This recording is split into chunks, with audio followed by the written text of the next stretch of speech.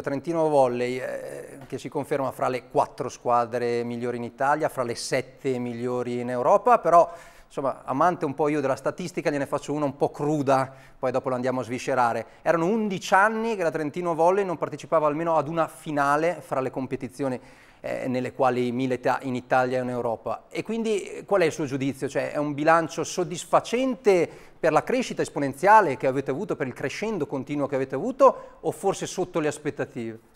Ma io penso che eh, al di là del, diciamo, del gusto della statistica, il confronto... Che è eh, prettamente giornalistico. Eh. eh il confronto il paragone eh, in generale, non solo nel campo sportivo, è sempre un qualcosa di, di violenza, no? Sì, Dentro. infatti ho premesso che era crudo come dato. Perché la violenza deriva dal, secondo me, da, dall'ingiustizia del, del, del, dover confrontare dati non simili.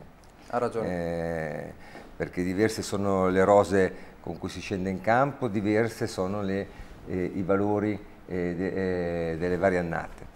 Io eh, con questo non vuol dire che eh, devo mh, considerarmi eh, o, ehm, rispetto all'annata che abbiamo passato completamente soddisfatto, ma tuttavia non posso non sottolineare il fatto che alla partenza sapevamo che nelle manifestazioni eh, che andavamo a disputare, dovevamo lottare per arrivare eh, in semifinale e poi cercare di, di, fare un qualcosa di straordinario mm. eh, per cercare di eh, eh, entrare in finale. Questo è straordinario non l'abbiamo fatto. Eh, Anche se ci siete andati vicino, no? Non ci mette al riparo da analisi anche eh, diciamo, critiche eh, all'interno nostro, tuttavia bisogna capire che eh, i cicli sono i cicli, eh, ci sono stati i cicli di, di, Treviso, ci sono stati i cicli di Trento, adesso penso che eh, la pallavolo eh, ci sono due squadre che stanno investendo tantissimo e penso che per noi sarà importante impostare un periodo dove dobbiamo tenere duro, dove Trento deve tenere duro, deve cercare di eh, rimanere eh, nell'alto, cosa non facile perché altre eh, società si stanno attrezzando molto bene e, se ci, riesce, e se ci riuscirà di rimanere nell'alto provare ogni tanto una zampata. Ha concluso lei personalmente la stagione con qualche rimpianto? Noi da osservatori sì, mm -hmm. però mm, insomma è il suo giudizio che conta.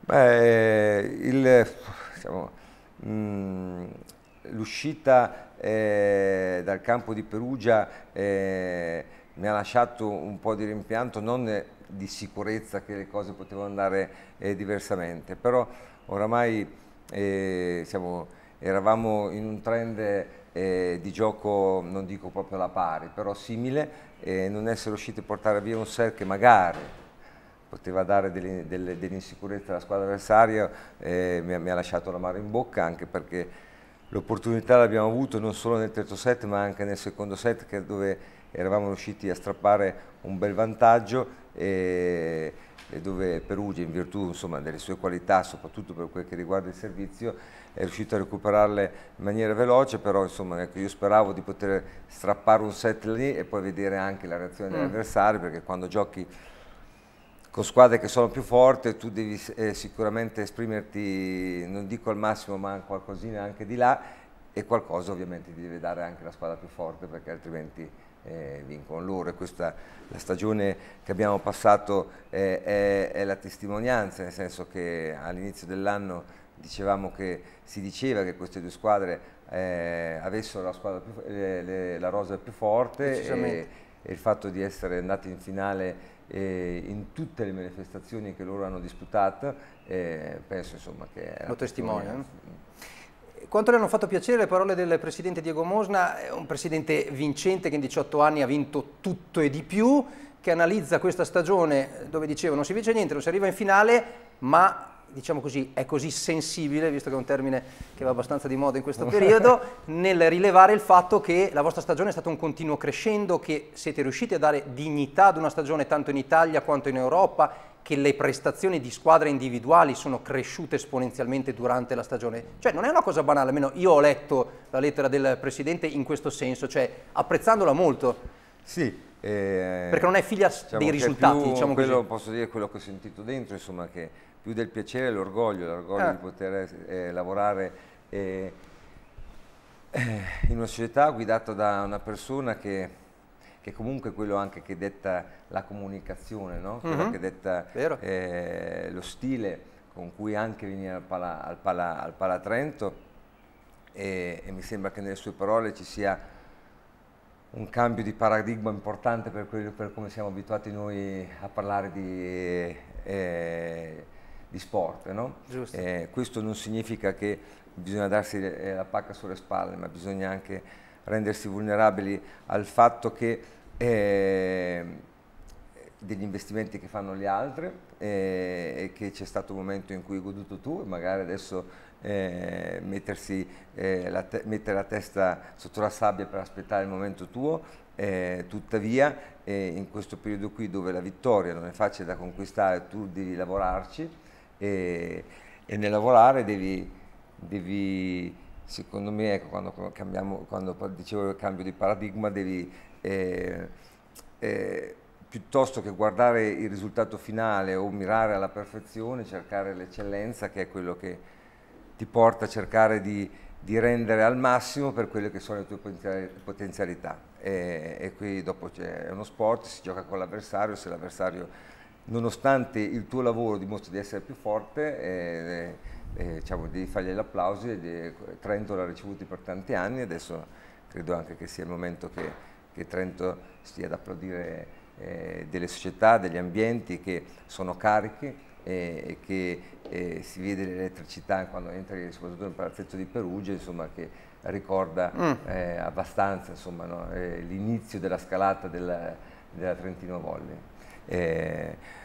il tenere duro eh, è un qualcosa, il, la costanza di esserci è un qualcosa che lo, lo sport premia e quindi se eh, Trento continuerà su questa strada sicuramente eh, ritornerà ad alzare le braccia eh, alla fine di un torneo. Si può, si deve ripartire da questo gruppo, lo si diceva anche nel servizio che è cambiato molto la scorsa estate, 10 nuovi innesti, appena 3 riconfermati dalla eh, stagione precedente.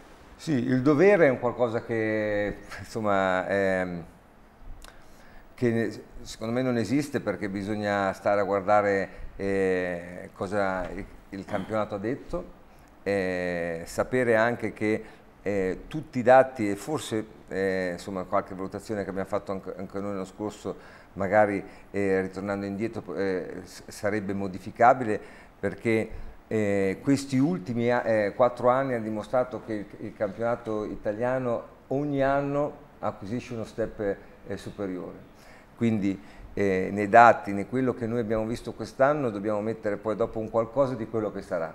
E sicuramente lo sarà perché le due squadre che oggi si disputano lo scudetto hanno già fatto degli investimenti importanti che le renderanno ancora più forte eh, il fatto che eh, quest'anno non ci saranno le retrocessioni dopo tanti anni, mm. dopo alcuni anni, eh, vuol dire che la, il, il, livello medio eh, crescerà, vuol dire anche che, eh, che, bisognerà fare attenzione con il budget perché all'improvviso no? certe squadre che magari non avendo le retrocessioni potevano accontentarsi, quest'anno non si accontenteranno, i giocatori sono sempre quelli, quindi cresce ehm, diciamo, eh, tra, tra, domanda e offerta, no? eh, la domanda diventa un pochettino più eh, ehm, esigente e l'offerta è sempre quella e quindi bisognerà fare attenzione eh, al budget e, e, e, allo stile che noi vorremmo dare. Il gruppo ha fatto, noi abbiamo cambiato tantissimo, eh, nel, nel farlo eh, sicuramente ci sono state delle sorprese positive e delle cose che ci aspettavamo dei rendimenti migliori. Eh, come dicevo l'anno scorso, io credo che eh, insomma, tutte le scelte che vengono fatte possono essere fatte nei limiti degli errori, questo sicuro, ma non vengono fatte né per, eh, per motivi personali o per, eh, o per, dolo di altro tipo. No? Eh, e quindi si cerca sempre di fare il bene del, del Trentino Volley. Ascolti, lei in 30 anni di carriera da allenatore ha allenato grandissime squadre, grandissimi giocatori. Mi dice se Simone Giannelli eh, lo è già o diventerà uno dei più forti palleggiatori della storia della pallavolo italiana? Sì, le, eh, le, rispondo dicendo che insomma dopo non è facile rispondere per tutti, nel senso che eh, quando si parla di Simone bisogna, eh, è, un mondo, è, un mondo, che anche io non ho mai conosciuto, perché mm. è vero che, che, ho avuto la fortuna di stare vicino a grandi campioni, ma non così giovani e non già così maturi. Eh, è stata una sorpresa l'anno scorso, lo è stata soprattutto quest'anno perché si è trovato a gestire una situazione difficilissima dove un ragazzo eh, così giovane eh, stare eh, nella sofferenza eh, anche tecnica per un certo periodo non è facile, eh, io credo che per lui quest'anno sia stato un, diciamo, un'annata, eh, un percorso più virtuoso di altri, perché quando tu eh, entri dentro la sofferenza e poi riesci a bucarla ed uscirla vuol dire che ti porti dietro un valore che non è solo tecnico, ma anche di, di leadership. Eh, questo ragazzo qua ha chiaro cosa vuol fare, eh, vuole diventare il più forte, mm. Eh, lo vuole fare con uno stile che è, prof è, professionale importante ma che non toglie niente alla sua vita privata, eh, è già, è già tanta roba, io penso che diventerà tantissima roba. Bene, belle parole. Stefano Carta per il coach? Sì, per il coach lui ha allenato Padova, Modena, Piacenza, Verona e cos'ha Trento di diverso rispetto a queste piazze? Allora, eh, come sempre, come ho detto prima, insomma, eh, io... La comparazione non le piace eh, tanto. Mi eh? parlare di Trento, anche perché ho avuto la fortuna, insomma, eh, a parte qualche annata dove non è andata benissimo il risultato, insomma, di avere sempre un, un feeling eh, importante con, con l'ambiente. Trento per me quest'anno è stata speciale soprattutto, mm. perché come dicevamo prima, quando una, una piazza abituata a vedere altri risultati, ad assistere a altri risultati, a non soffrire così tanto con certe squadre, normalmente eh, la storia anche del volo ci ha insegnato che diventa una, una, eh, una piazza col dito puntato. E, e, quel dito puntato, oltre che non conveniente, ma non aiuta. E noi dito, sentivamo la responsabilità di dare a Trento un qualcosa di meglio, questo è sicuro, ma non abbiamo mai avuto il dito puntato e questa cosa qua secondo me nello sport per come si è abituato adesso anche con, con questi social che aumentano no? la, la, la, mm. diciamo, il clamore eh, di una palla, di un risultato, di un'intervista, eh, ecco, il trovare qua un ambiente eh, importante e che, sa, e che eh, ha saputo anche guardare al di là del, di quello che, eh, che accadeva la domenica per me è stato eh, ripeto, un motivo di anche di sorpresa e adesso di orgoglio. Eh, e, e, e, se non c'era questo Trento qua, questa stagione qui sarebbe stata partita complicata, non so se si sarebbe risolta perché era un gruppo nuovo e che quindi anche in termini di leadership non, non, non aveva eh, delle gerarchie ben definite. E, e se tu eh, quando giochi in casa eh, sai di non entrare in un palazzetto veramente amico, ma una, uno, se vai a, sai di entrare in uno, in uno, palazzetto di spettatori, non di tifosi, eh, allora le cose si complicano. Noi tutto, tutto, il contrario abbiamo avuto e di queste insomma, gli mando eh, ancora un grazie immenso perché insomma, è sicuro che non è una stagione che va eh, eh, attaccata a tanti trofei che questa società eh, però quello che ho vissuto io quest'anno me la tengo dentro perché è, una cosa eh, molto importante e so di essere fortunato perché tanti altri eh, colleghi eh, non hanno avuto la fortuna di vivere eh, quello che ho vissuto io. E poi volevo chiedere qual è il giocatore che quest'anno ha fatto più progressi e qual è magari quello che non è ancora così convinto dei suoi mezzi?